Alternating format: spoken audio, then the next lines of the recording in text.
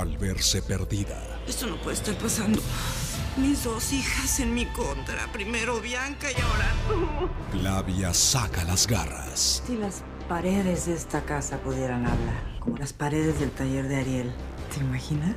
Y con sus amenazas, Ariel no necesita que las paredes hablen, con que yo abra mi boquita basta. la bomba podría estallar. Pasión prohibida.